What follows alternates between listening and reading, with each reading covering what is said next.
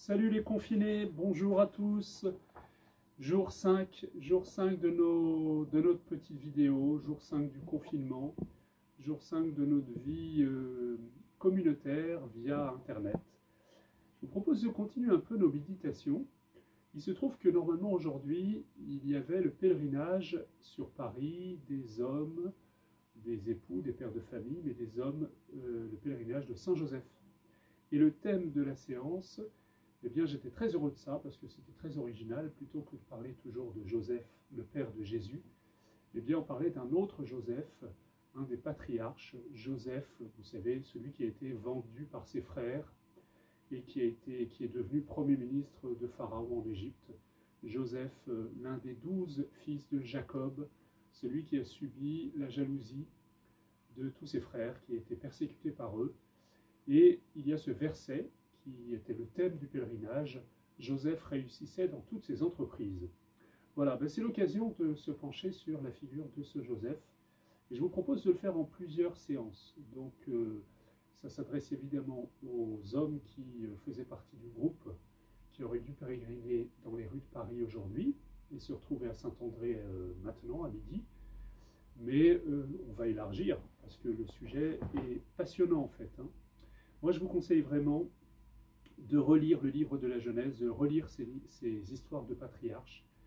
Malheureusement, les catholiques les lisent beaucoup trop peu et euh, c'est d'une richesse extraordinaire. Les enfants, quand on le leur raconte, euh, sont passionnés. Parce que c'est des histoires qui, euh, qui sont réelles. C'est des histoires de, de famille, de famille marquées par la bénédiction, marquées par l'amour, mais marquées aussi par toutes les tensions qui traversent des familles, en particulier la jalousie, la rivalité, la difficulté à laisser de la place à l'autre. Alors ça, les enfants le connaissent. Si on oublie ces histoires, les histoires bibliques, si on ne raconte pas ces histoires bibliques le soir euh, au bord du lit, euh, si papa ne vient pas raconter ces histoires bibliques, eh bien les enfants vont chercher d'autres histoires. Ils vont chercher des histoires dans lesquelles la bénédiction n'a pas toujours euh, de, de, place. C'est souvent les contes, les contes traditionnels sont beaucoup plus tragiques, ou alors toute la mythologie, elle est très violente parce qu'il y a ces mêmes tensions, mais qui ne sont pas traversées par le grand courant d'amour de Dieu. Vous voyez l'histoire de, Joseph et ses frères, comme l'histoire de son père Jacob avec son frère Ésaü, comme l'histoire d'Isaac sur la génération d'avant, le grand-père de Joseph, et comme l'histoire d'Abraham, l'arrière-grand-père de Joseph. Ce sont des histoires qui mêlent les contradictions du cœur humain, les rivalités, les tensions familiales, mais aussi un grand courant de bénédiction qui traverse tout cela et qui fait que en dernier recours, c'est toujours la bénédiction qui l'emporte. C'est toujours le pardon qui l'emporte. C'est toujours la vie qui l'emporte sur la mort. Voilà, alors je vous propose d'aborder un peu cette histoire de Joseph qu'on va faire par étapes. Et on va essayer de respecter un petit peu les étapes de ce récit qui est extrêmement bien écrit en fait. Vous savez que la Bible euh, est une bibliothèque avec toutes sortes de livres, toutes sortes de livres euh, qui ont des genres littéraires très différents. C'est ce qui fait la difficulté de la lecture de la Bible. Ce n'est pas un livre qu'on lit de, la première page à la dernière page de manière continue, comme on lirait Harry Potter, parce qu'il y a, en réalité, c'est une bibliothèque. Donc on va sortir un rouleau, il y a des livres juridiques, il y a des livres narratifs, il y a des livres poétiques, il y a des livres historiques, il y a des livres qui sont des contes. Donc vous comprenez qu'il y a un style littéraire propre à chacun de ces livres. Donc il y a une clé d'interprétation, a en termes savants on dira une herméneutique propre à chaque livre. Alors, le livre dont il s'agit, le livre de la Genèse, lui-même, il comprend pas mal de séquences différentes. On dira que euh, les premiers chapitres de la Genèse, qui relatent la création et le péché originel, sont plutôt dans le style mythique, hein, euh, sans dire que ce n'est pas une réalité historique, mais c'est une réalité historique qui nous est présentée sous le voile et sous le langage mythologique. Et ensuite, il y a les récits des patriarches, avec Abraham, Isaac, Jacob, et les fils de Jacob, les douze fils de Jacob, qui donneront naissance aux douze tribus d'Israël. Ça, c'est vraiment la généalogie du peuple juif. Et c'est notre généalogie à nous, chrétiens. En fait, il faudrait, et là je m'adresse à vous avec force, il faudrait que tous les chrétiens connaissent par cœur. Quand vous parlez à des frères euh, protestants, euh, nous les catholiques, on est souvent très confondus, euh, parce que il, nous, il, parle d'Ésaü, il parle de Jacob, il parle de Joseph, comme s'il parlait de leurs ancêtres ou de quelqu'un de proche qu'ils viennent de quitter et qu'ils fréquentent au quotidien. Tandis que nous, bah, il y a beaucoup de noms euh, qui nous sont étrangers. En réalité, c'est notre famille, ce sont nos racines, c'est notre arbre généalogique. Vous voyez peut-être dans certaines églises ces représentations de l'arbre de Jessé. Jessé, c'est le fils, le père de, de David, pardon. Et euh, Jessé a eu toute une descendance qui va aller jusqu'à Joseph, qui est descendant de David. Joseph, pour le coup, le père de Jésus. Joseph qui épousa Marie, de laquelle fut engendré Jésus. Donc en fait, cet arbre de Jessé, c'est l'arbre généalogique de Jésus. Mais comme nous avons été baptisés, eh bien nous avons été incorporés à Jésus. Alors nous recevons Dieu pour Père avec lui, mais nous recevons aussi toute sa généalogie, toute l'histoire de laquelle il est issu, toute l'histoire dans laquelle il a été. Nous sommes greffés sur l'arbre qui est euh, l'arbre de la tradition juive. C'est ce qui a fait dire au pape Pie XI que nous sommes des sémites spirituels. C'est ce qui fait dire au pape Jean-Paul II que nous sommes, que les, Juifs sont nos grands frères, nos frères aînés dans la foi. On pourrait dire que finalement, toute la tradition voyez, de l'Ancien Testament, c'est l'arbre dont nous, les chrétiens, nous sommes les fruits. Nous sommes la descendance promise à Abraham. Donc Abraham est notre père dans la foi. Abraham est notre grand-père. Abraham est le patriarche. Et nous avons pour Dieu celui qui s'est adressé à Abraham, Isaac et Jacob, et qui a promis à cette première souche, cette première famille, eh bien, une grande descendance, une grande postérité. Et nous sommes de la postérité de ces trois-là. Il y a parmi vous des gens qui sont très fiers de leur famille. Quelquefois, c'est des familles aristocratiques. Quelquefois, c'est plutôt euh, un système un peu tribal, mais on s'identifie à une même souche. Et on aime bien se réunir en famille on aime bien commémorer tel ou tel ancêtre dont on est fier. Eh bien, en fait, il faudrait qu'on fasse, qu'on ait cette même conscience entre chrétiens, que nous avons, nous sommes tous fils d'Abraham, d'Isaac et de Jacob. Donc que cette histoire est notre histoire, que l'histoire des patriarches est en fait notre histoire en deux sens. Ce sont nos racines, mais c'est au même temps notre histoire quotidienne, parce que cette histoire, elle est très compliquée. Elle est mêlée, je vous disais, de bénédictions, de plans de Dieu et de contradictions humaines. Elle est mêlée d'injustice, de, de préférence des parents pour certains enfants, de jalousie vécue entre les enfants. Et c'est précisément l'histoire de Joseph. Voilà. Donc on va s'inscrire là-dedans. Joseph, c'est une histoire compliquée. Joseph a onze frères et une sœur.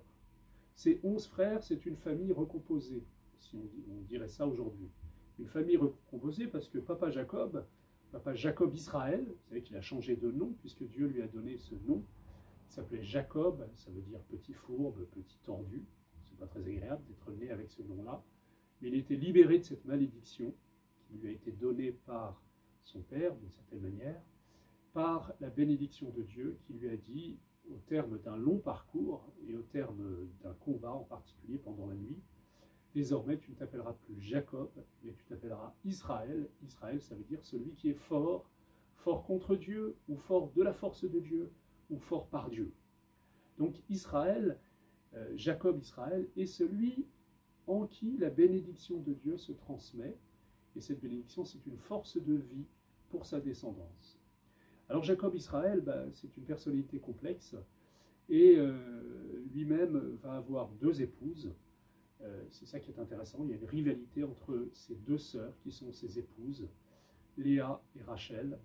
Et puis il va avoir des enfants. Alors il va avoir euh, de mémoire quatre, dans un premier temps, quatre enfants avec Léa, quatre fils.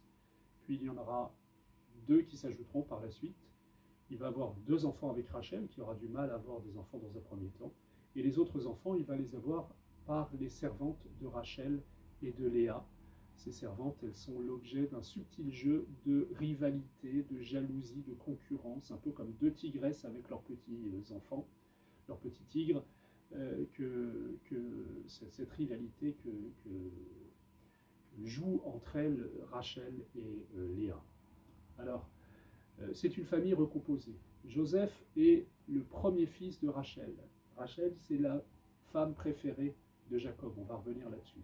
Donc euh, Joseph a une, situation très compliquée dans la famille.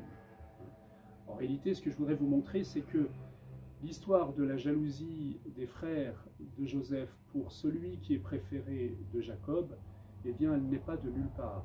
Elle est le fruit d'une transmission transgénérationnelle de problématiques. C'est souvent comme ça dans nos familles. C'est souvent comme ça dans nos familles. Il y a des scénarios qui se reproduisent de génération en génération. Il y a un passage euh, dans le livre de l'Exode qui dit que Dieu maintiendra la malédiction sur quatre générations, trois ou quatre générations, et la bénédiction sur mille générations. Ça veut dire peut-être, on peut peut-être en, déduire que, en réalité, humainement, nous nous transmettons sur trois ou quatre générations certaines choses. C'est peut-être la coloration concrète du péché originel dans nos familles. Le péché originel, c'est euh, une convoitise qui s'est transmise euh, depuis Adam et Ève, euh, de père en fils, et de mère en fils, et de mère en fille. Elle se transmet et elle prend des colorations particulières dans une famille à travers des conflits particuliers, à travers des situations particulières qui vont faire que c'est un écheveau de relations complexes avec bah, des convoitises qui vont se croiser. Et la grâce de Dieu, pour mille générations, elle surgit là-dedans. Vous voyez, vos enfants, ils sont à la fois le fruit de cette transmission générationnelle, du meilleur et du pire que vous leur avez transmis, parce que vous n'êtes pas parfait, les parents, je m'adresse aux parents, vos parents ne sont pas parfaits non plus, donc il y a un poids transgénérationnel, il y a des tensions, il y a des conflits qui se transmettent presque génétiquement. Et puis, il y a d'autre part vos enfants, si vous les avez fait baptiser, eh bien, ils sont nés de nouveau, non plus de la chair et du sang, c'est-à-dire de cette transmission transgénérationnelle dont vous êtes les canaux, mais euh, d'une nouvelle semence, d'une nouvelle naissance, la naissance d'eau et d'Esprit Saint, c'est-à-dire la naissance de Dieu. Ils sont nés à leur condition de fils de Dieu. Et donc ce, bain euh, de la nouvelle naissance peut refluer sur leur histoire. C'est la grâce qui vient, mais qui vient s'inscrire à travers notre histoire. Voyez Elle va circuler à travers les, les, les dédales et les labyrinthes de nos psychologies blessées, de nos histoires blessées. Voilà, c'est intéressant de voir ces deux points. Donc dans l'histoire de Joseph, vous voyez, il y a ces deux réalités. Il y a une réalité divine et une réalité très humaine.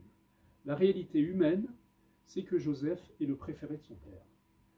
Israël, et on ne dit pas Jacob, mais Israël, donc c'est Israël, c'est Jacob en tant que béni de Dieu qui préfère Joseph. Ce n'est pas une situation normale, parce que Joseph n'est pas l'aîné. Alors Joseph se, est mis en situation de préférence dans euh, sa famille par rapport à ses frères. L'aîné, c'est Ruben, et Ruben, il a eu pas mal de problèmes. Ruben, il a commis l'inceste avec une de ses tantes. Ruben, il ne s'est pas comporté toujours comme il fallait, donc euh, son droit d'aînesse est euh, mis en cause d'une certaine manière, et manifestement, eh bien, Jacob Israël a cette préférence pour son fils né de sa femme préférée, Rachel. Et évidemment, ça va poser des problèmes. En fait, on peut dire déjà, première chose, c'est que Joseph est coincé dans une situation dont il n'est pas responsable. Alors après, il va, euh, il va réagir de manière parfois euh, fautive, provocatrice, euh, immature, c'est-à-dire qu'il va jouer de, son privilège, mais c'est finalement son père qui l'a mis dans cette situation-là. C'est son père qui l'a mis à part. Vous voyez, dans beaucoup de cas, dans nos vies, nous sommes coincés dans une position qui n'est pas juste. Euh, je vois tous les jours des enfants qui sont les parents de leurs parents. C'est-à-dire qu'il y a un des enfants qui est responsable de ses frères et sœurs, notamment au moment des tensions euh, au sein d'un couple, au moment d'un divorce. Eh bien, tel ou tel, parfois l'aîné de la famille, ou tel autre qui a été choisi comme confident de l'un des parents, ce qui est absolument tragique, dramatique, parce que ça va faire des enfants qui se sentent investis d'une mission. Vous savez, j'appelle ça les enfants casque bleu ça va être les enfants qui sont euh, l'intermédiaire entre papa et maman, qui sont parfois les protecteurs de leurs petits frères et sœurs. Donc des enfants à qui eh bien, on vole leur enfance, des enfants qu'on va placer, euh, qu'on va déplacer. Et ils vont vivre ce fardeau toute leur vie. Je voyais l'autre jour un jeune homme qui, dans sa situation professionnelle, était toujours en tension. Et euh, parce qu'il était entre un patron et des clients, et il jouait toujours le casque bleu entre eux il prenait fait et cause pour l'un contre l'autre, etc. Il n'arrivait pas à se démêler de ces situations-là. Et ça générait une tension extrême en lui, jusqu'à un burn-out, comme on dit aujourd'hui. Et euh, en fait, en parlant avec lui, je lui ai demandé, mais tu, tes parents, ils ont divorcé? Oui, tiens, justement, quand j'avais 12 ans. Et je suis devenu, c'est moi qui ai protégé ma mère contre les errements de mon père. Donc à l'âge où lui-même entrait dans l'adolescence, eh ben, il devait se priver de sa propre adolescence pour protéger un père adolescent. il devenait le père de son père, d'une certaine manière, le protecteur de son père, et il devenait le protecteur de sa mère, son confident, ce qui est, euh, si on dit les choses en termes psychologiques, une situation grave, dysfonctionnelle, incestuelle, et il devenait le protecteur de ses frères et sœurs. Donc pour retrouver une juste position, eh bien, il a fallu l'aider avec la grâce de Dieu, avec Jésus qui seul est sauveur, qui seul prend la place, lui dire qu'il ne devait pas être le confident de sa mère, qu'il ne devait pas être le protecteur de son père, qu'il devait se désengager, qu'il devait se sortir de cette position coincée. Il y a tellement d'enfants qui prennent des fardeaux qu'ils ne devraient pas porter. Il y a tellement d'enfants qui se sentent investis d'une responsabilité qui n'est pas la leur. Eh bien alors dire qu'il n'y a qu'un seul sauveur, c'est Jésus. Il n'y a qu'un seul Père, c'est Dieu. Un seul sauveur, c'est Jésus et un seul consolateur, c'est l'Esprit Saint. Retenez bien cette triade. Vous voyez, ces enfants qui cherchent toujours à consoler les autres, à consoler leurs parents, à consoler leurs frères et sœurs. Ce faisant, ils ne peuvent pas recevoir la consolation de l'Esprit Saint. Tous ces gens qui veulent être sauveurs, qui veulent porter les fardeaux des autres, ils ont besoin d'entendre un jour Jésus qui leur dit Eh bien, laisse-moi porter ton fardeau. Venez à moi, vous tous qui peinez sous le poids du fardeau, et je vous soulagerai.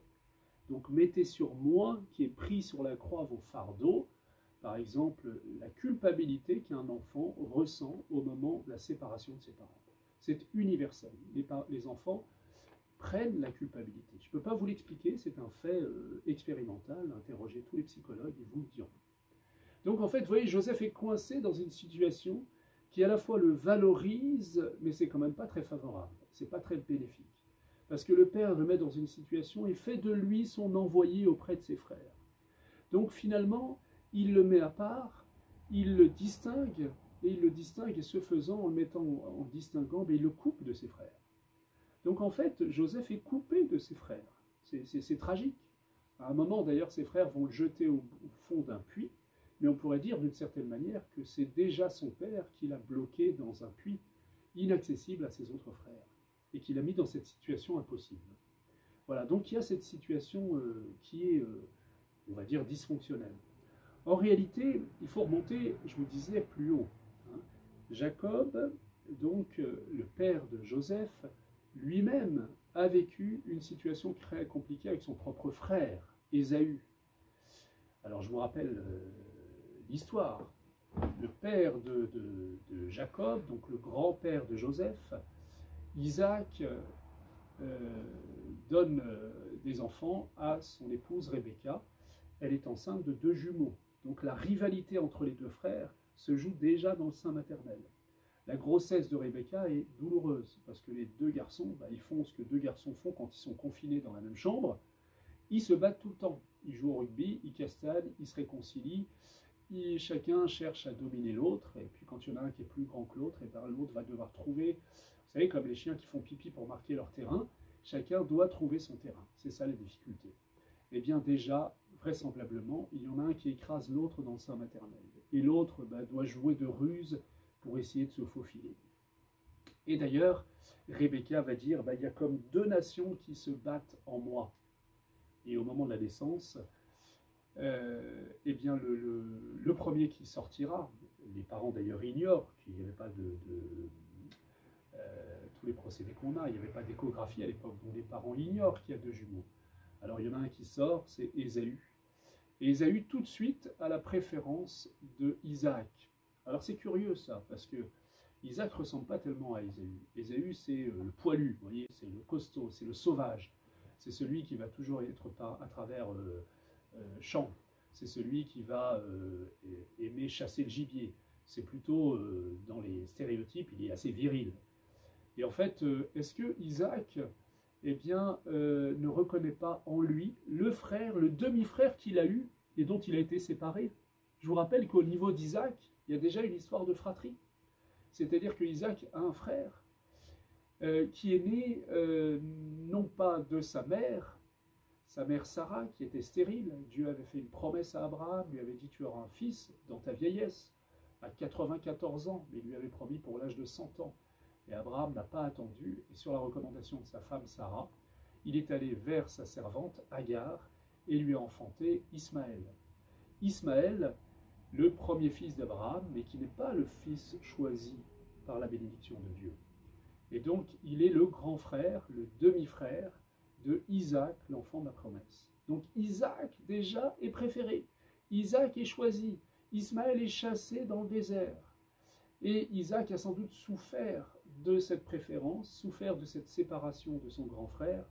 Alors on peut se dire que ce n'est pas par hasard qu'il va reporter, qu'il va aimer ce fils qui ressemble à son demi-frère dont il a été privé. Ésaü ressemble à Ismaël, le sauvage. Ismaël, c'est celui qui va être chassé dans le désert avec sa mère Agar. C'est celui qui, euh, d'une certaine manière, il va donner naissance d'ailleurs à la tribu des Ismaélites, qu'on va revoir dans l'histoire de Joseph. Et donc, c'est celui qui est un peu euh, condamné à errer dans le désert. Donc, Isaac, déjà, a aimé Ésaü. Mais quand Ésaü sort du sein maternel, eh bien, il surgit. Et puis, on sort tout le corps, on sort les épaules, on sort le corps, le buste, etc. On sort les jambes. Et puis, il y a un pied qui reste retenu dans le sein maternel. Et agrippé à son pied, eh bien, une petite main qui essaye de le tirer en arrière pour prendre sa place. Vous savez, c'est comme dans la bande dessinée, Is No Good, hein. c'est celui qui veut être calife à la place du calife.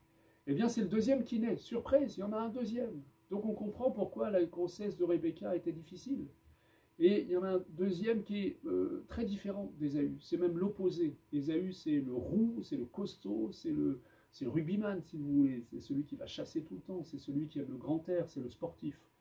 Et puis le deuxième qui apparaît, bah, il est plutôt malingre, il est plutôt brun, il a l'œil très vif, rusé. Et d'ailleurs, on va l'appeler petit rusé, petit fourbe. Rusé, c'est comme le serpent, vous savez. Donc, c'est pas très agréable. Et tout de suite, la mère, Rebecca, va projeter, va se projeter sur lui. Donc, il va y avoir une rivalité entre Ésaü et Jacob, qui est en fait le prolongement d'une sorte de rivalité entre Isaac et son épouse Rebecca. Rebecca jette son dévolu sur le petit Jacob, qui va être un peu étouffé par sa mère et ignoré par son père. Et Ésaü est valorisé par ce père qui voit peut-être en lui le reflet eh bien, de ce grand frère perdu qui est Ismaël. Et on pourrait remonter ainsi euh, les générations. En fait, on pourrait remonter jusqu'à l'origine de l'humanité. Parce qu'à l'origine de l'humanité, la première fratrie, ça a été compliqué. Est-ce que je vous le rappelle Adam, après le péché originel, connu, c'est-à-dire s'unit à Ève, qui enfanta, qui enfanta, et d'ailleurs elle va dire, j'ai acquis, j'ai possédé, le terme est très fort, un homme de par Dieu, comme si Ève, eh bien, dans cette maternité, voyait quelque chose qui lui appartenait. Et vous avez remarqué que Adam n'est pas nommé, le père n'est pas nommé. Donc, le premier fils d'Adam et Ève, eh bien, c'est un peu la chose d'Ève. C'est la mère possessive, d'une certaine manière. Et il va s'appeler Cain. Cain, ça veut dire possession. Imaginez, il est la possession de sa mère. Et Cain eh ben, va, avoir un petit frère. Abel, c'est ça veut dire euh, la buée, c'est-à-dire celui qui est ajouté. D'une certaine manière, aux yeux de Cain, eh ben, c'est compliqué d'accueillir un petit frère. Et la relation de Cain et Abel est très compliquée. Alors c'est intéressant parce que la fratrie est quelque chose de compliqué. Vous voyez, le problème de nos relations avec nos frères et sœurs, c'est que c'est la première sociabilisation, c'est les premières personnes avec lesquelles nous vivons, nous partageons la chambre, nous partageons l'appartement, nous sommes confinés dans le même appartement, et pourtant nous ne les avons pas choisis. Et nous devons d'une certaine manière partager l'amour des parents. Et euh, le grand frère qui voit un petit frère arriver trois ans après lui, c'est au moment peut-être où il a le plus besoin de s'affirmer, il a plus besoin du regard de ses parents, que tout d'un coup il est comme eh bien, détrôné de sa position, de sa position de fils unique. Et le deuxième eh ben, va prendre sa place. Il va devenir un, rival. Vous connaissez toutes ces histoires-là. Moi, je me souviens d'une maman qui dit euh, que elle avait eu un petit garçon euh, trois ans après l'aîné et que l'aîné avait été compliqué pendant la grossesse. Vous imaginez, vous savez, ces, ces, enfants qui peuvent être à la fois très légers comme des petits singes dans vos bras, ou alors très très lourds comme si vous voulez vous faire sentir qu'ils sont là. pendant toute la grossesse, la maman disait il m'écrasait, et puis il s'est remis à avoir des problèmes, des, des, des, nous réveiller la nuit, alors qu'il faisait très bien ses nuits, évidemment, à cet âge-là. Et puis, euh, lorsque on est parti à la clinique, ben, il était privé de sa maman pendant quelques temps. Et on avait bien arrangé le retour, hein, enfin la découverte après la naissance du, second. Euh, L'aîné entre dans la clinique évidemment le premier regard qu'il a, il y avait pas mal de monde euh, dans la chambre de sa maman, le premier regard est pour le lit de sa mère et catastrophe, dans le lit de sa mère il y a le petit intrus, c'est-à-dire le petit frère. Évidemment il a pris sur lui, il n'a pas voulu montrer euh, qu'il était déçu, et euh, sa maman, croyant bien faire, ou le papa, je ne sais plus, lui a tendu une peluche en lui disant Voilà ce que ton petit frère, euh, que tu vas aller embrasser maintenant, t'a offert. Et vous savez ce qu'a fait le grand frère Il a pris la peluche, il l'a jetée par la fenêtre en disant Il n'y a pas de place pour une peluche dans le ventre de maman. les psychologues se régaleraient avec cette histoire, bien sûr. C'est finalement le désir qu'il avait de supprimer son petit frère, hein, qui a été symbolisé à travers cette peluche. D'ailleurs, les parents disent que quand il a embrassé son petit frère, il a fallu le séparer parce qu'il était prêt à l'embrasser tellement fort qu'il aurait fini par l'étouffer. On entend ça, des enfants qui disent Moi, je voudrais que mon petit frère ou ma petite sœur disparaissent. Hein. eh bien, euh, c'est la réalité. C'est la réalité, mon frère ou ma sœur, eh bien, je ne l'ai pas choisi et euh, d'une certaine manière, il va empiéter sur mon territoire. Et je me sens menacé parce que nous sommes tous marqués par le péché originel. Le péché originel, c'est finalement, ça se traduit dans notre conscience, dans notre psychologie, par le fait que nous sommes privés de cet amour, cette certitude que nous sommes aimés chacun d'un Dieu, d'un Dieu qui nous aime personnellement. Et nous nous transmettons des relations qui sont souvent dysfonctionnelles. Du coup, eh bien, l'amour devient aussi un lieu de rivalité, l'amour des parents pour les enfants. Donc on pourrait dire qu'on ne naît pas frère, on le devient. Finalement, la fraternité, c'est quelque chose qui doit advenir. C'est quelque chose qui est le fruit d'une conquête. On aime beaucoup ses frères et sœurs, éventuellement, ne les aime pas, mais on doit toujours passer par une étape où on doit les redécouvrir, peut-être leur pardonner la place qu'ils ont prise, euh, en tout cas euh, faire alliance avec eux. Et c'est là que la grâce intervient. Alors vous voyez, dans l'histoire de Joseph, il y a cette histoire. Mais avant d'entrer dans l'histoire de Joseph, je voudrais revenir sur Cain et Abel parce que c'est extraordinaire. Si vous êtes père de famille, vous regardez, si vous êtes mère de famille, une des choses les plus compliquées sans doute pour vous, c'est les rivalités entre vos enfants. C'est le sentiment que l'un ou l'autre a d'être moins aimé, moins estimé de vous. Et vous culpabilisez, et vous vous demandez euh, bah, d'où ça vient, qu'est-ce que j'aurais pu faire de différent ou pas? Alors ce qui est intéressant, c'est que dans l'histoire de Cain et Abel, eh bien, il y a cette rivalité. Mais on l'attribue, on en attribue directement la responsabilité à Dieu. Dieu ne se défausse pas. S'il y a un sentiment d'être moins aimé, c'est lui qui va le prendre sur lui. Alors je vous rappelle la scène. Hein. Cain et Abel, tous les deux. Alors Abel, c'est celui qui est euh, le berger. Hein. et puis Cain, c'est euh, l'agriculteur. Chacun va offrir à Dieu les prémices de ses œuvres. Déjà, on peut se demander pourquoi est-ce qu'il faut offrir quelque chose pour avoir l'amour de Dieu. Jésus nous dira sans cesse que et les prophètes nous diront que Dieu n'a que faire de nos offrandes. L'amour ne s'achète pas. Hein, c'est curieux. Pourquoi est-ce qu'on achèterait l'amour de Dieu? Qu'en fait, Dieu, il veut euh, l'affection filiale. Il veut faire de nous des fils, ce que nous sommes en réalité. Et euh, bien souvent, nous essayons de, euh, de marchander ou d'acheter cet amour. Peut-être que c'est ça qui est dans le cœur de Cain. En tout cas, Cain fait son offrande, et puis il voit que Abel, l'offrande d'Abel est agréée par Dieu, et la sienne est refusée. Tiens, crise. C'est Dieu qui provoque la crise puisqu'il accepte l'offrande d'Abel et il refuse celle de Cain. Alors, euh, demandons-nous euh, pourquoi Dieu provoque cette crise? Ben, peut-être que Dieu provoque cette crise pour lui dire justement que euh, l'amour ne s'achète pas. Et donc il veut vivre quelque chose avec Cain. Et d'ailleurs, Cain, une fois qu'il voit ça, eh bien, baisse le regard, il a le naseau en feu. Vous savez, il a le naseau en feu, il baisse les yeux, il regarde vers la terre. Et Dieu lui dit, lève les yeux, regarde-moi, Cain, lève les yeux vers moi, et dis-moi, parle-moi. Et précisément, Cain, mais renferme en lui cette colère, cette jalousie. Vous voyez, la jalousie, on nous culpabilise beaucoup, et le problème, c'est que la jalousie, eh bien, c'est un ange.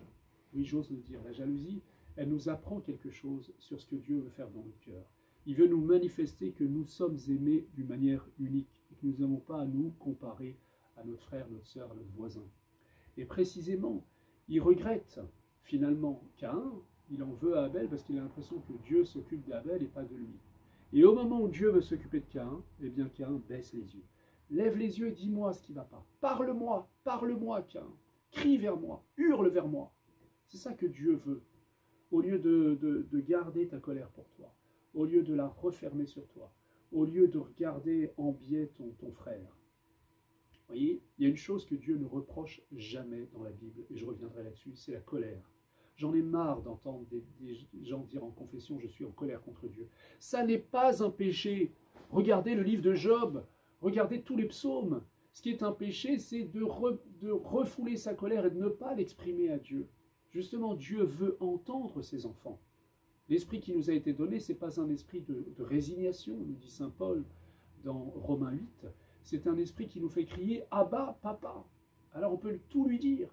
Et Jésus sur la croix dit Pourquoi m'as-tu abandonné? C'est pas très poli ça. C'est Jésus, c'est un fils qui hurle vers son père. Donc en fait, eh bien, euh, Dieu voudrait avoir ce face à face avec un, et c'est ça qu'il veut qu'un, il veut que son père le regarde dans les yeux, il veut avoir un moment intime avec son père, personnel avec son père. Et au moment où son père le lui offre, il lui dit allez, on cause, on bouffe ensemble, on discute ensemble, on boit un verre. Dis-moi, crache-moi la figure ta colère et on pourra la résoudre. Eh bien non, tout va bien, tout va bien. Voyez? Et il tourne son regard, il boude en fait, il se referme. Cette politesse euh, d'apparence et en fait cette colère qui le ronge à l'intérieur. Et d'ailleurs Dieu lui dit, eh bien le péché est tapis dans l'ombre, il est comme une bête qui te convoite. Vous voyez, c'est cette jalousie qui est tapie dans son cœur et qui va dévorer toutes les pensées de Caïn et finalement qui va le dévorer lui-même et lui-même va devenir cette bête qui va dévorer son frère et qui va tuer son frère. En fait, il aurait dû sortir cette colère. Il aurait dû, il aurait découvert que Dieu lui dit mais on peut, on peut lui tordre le cou à cette petite bête ensemble. Il faut que je m'occupe de toi, il faut que je te montre que je t'aime toi et non pas comme ton frère. Voyez, vos enfants, ils n'ont pas besoin de beaucoup d'amour, ils, ont besoin d'un amour particulier. Ils ont besoin chacun de ressentir qu'ils sont uniques.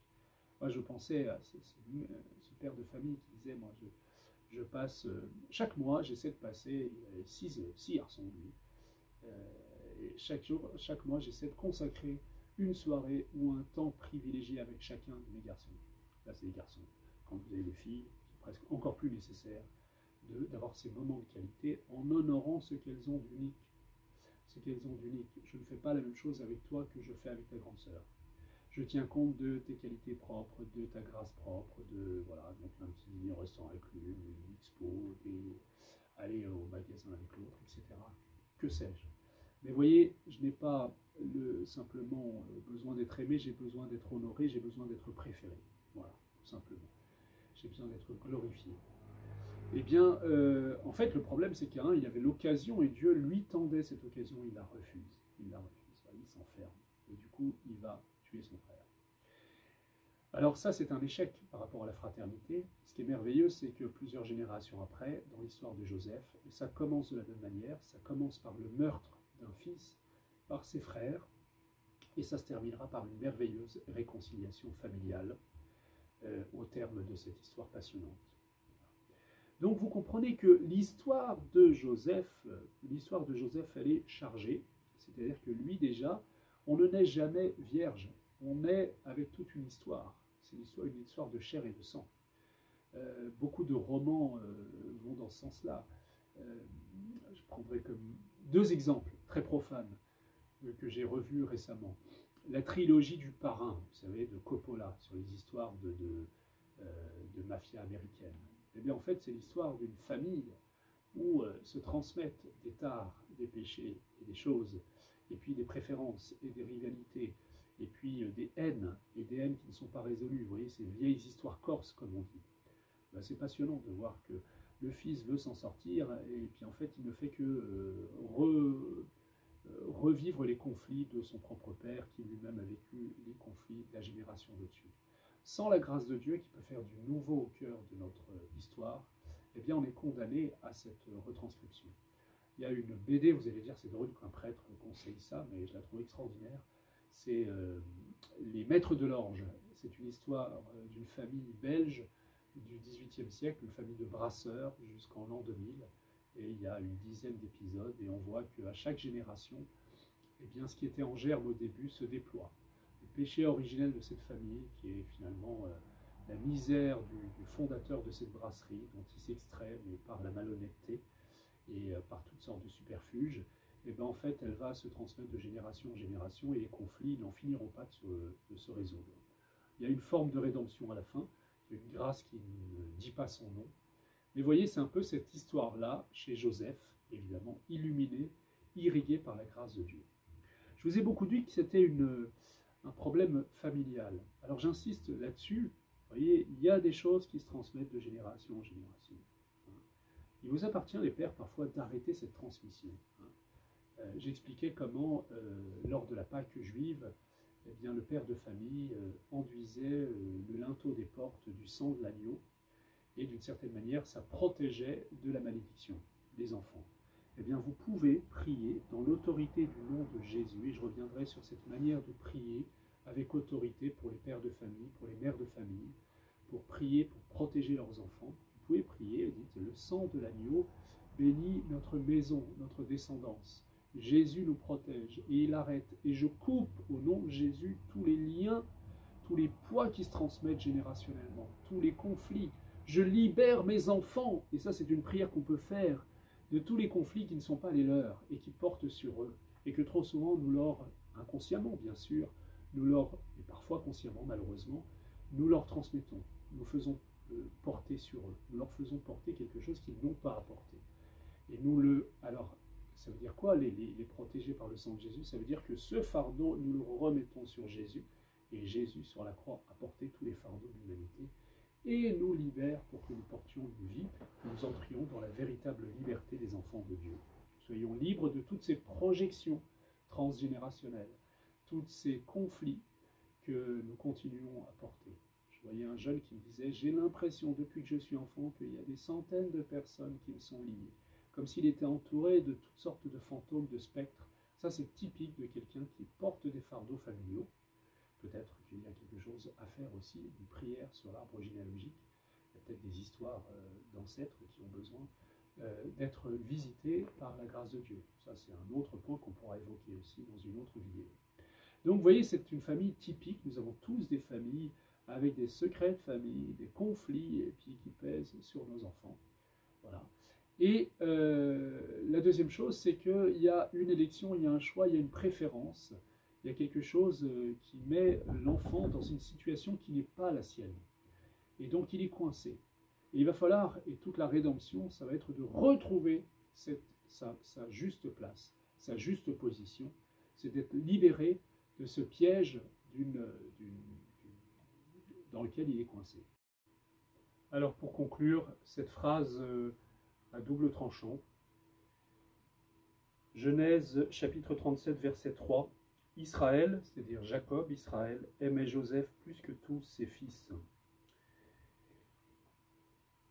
Et donc ce qui en résulte, la rivalité, l'histoire de Cain et Abel, l'histoire de Romulus et Rémus, l'histoire euh, qui est l'histoire de l'humanité, l'histoire de cet enjeu, comment est-ce que je peux gérer quand je suis le frère de quelqu'un qui est préféré, eh bien, cette situation, comment je peux gérer cette situation quand je suis le père en question, comment je peux gérer cette situation quand je suis le fils qui est pris dans cette situation-là, et surtout comment Dieu va gérer cette situation. Et c'est ça qui est peut-être l'aspect le plus intéressant, c'est qu'il y a l'histoire des hommes, et il y a Dieu qui va se frayer un chemin à travers ces courbes. Dieu fait droit avec des histoires compliquées, avec des lignes courbes, comme on dit, en fait, euh, vous voyez, Dieu, souvent, il a été euh, jeté dehors de nos histoires parce qu'il respecte nos libertés, il respecte les contradictions de nos affectivités blessées, il respecte euh, ce, jeu de convoitise, mais s'il est sorti par la porte d'entrée, eh bien, il reviendra par la porte de service. Et il va se glisser là-dedans et sa grâce va se faufiler. Et tout le paradoxe que j'évoquerai la fois prochaine, c'est que le même qui a été mis d'une manière désordonnée, on pourrait dire, à part par son père, à part de ses frères, eh bien, a été choisi par Dieu. Et l'élection de Dieu, eh bien, elle n'est pas tout à fait comme la préférence du Père, au contraire, elle est à l'antithèse de la préférence de Jacob Israël pour Joseph. L'élection dont Joseph fait l'objet de la part de Dieu, eh bien, elle, elle est facteur de bénédiction, facteur de réconciliation, et euh, elle concourt à son dessein, au projet qui est celui de Dieu, d'envelopper tous les hommes, tous les frères d'abord de Jacob, de Joseph, pardon, et ensuite toute sa descendance dans cette bénédiction. Donc, affaire à suivre.